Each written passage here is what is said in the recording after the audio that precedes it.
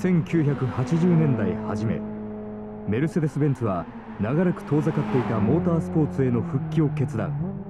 コンパクトな190シリーズをベースとしたスポーツモデルを開発した。それが1983年に登場した 190E2.316 である。この2.316の最大のハイライトはエンジンにあった。ベースとなったのはメルセデスがもともと持っていた2.3リットル直列4気筒 SOHC これに DOHC16 バルブヘッドを与え F1 で有名なコスワースがチューニングを加えることで最高出力185馬力最大トルク23.1キロを誇るスポーツユニットが誕生したのである。このエンジンを積んだ 190E2.316 は1986年から DTM ドイツツーリングカー選手権に参戦。しかしそこに待っていたのは果てしない進化というレースマシンの宿命だった。1988年2.316は BMW M3 打倒のため 190E2.516 へと進化。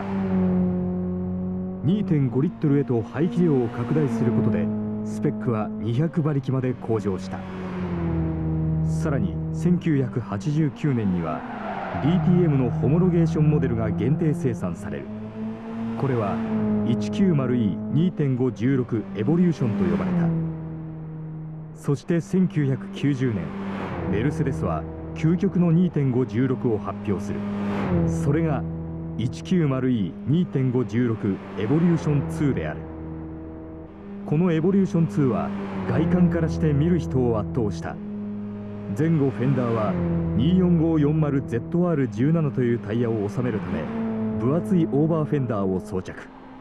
トランクには巨大なスポイラーが後ろへオーバーハングして備わっていた。エンジンはさらなるチューニングによって235馬力まで出力が向上。DTM マシンではそのパワーは330馬力オーバーにまで達したと言われる。このエボリューション2はわずか500台が限定生産され1992年にはまさに DTM を席巻する大活躍を見せた。ツーリングカーレースが生み出した究極の 190E である。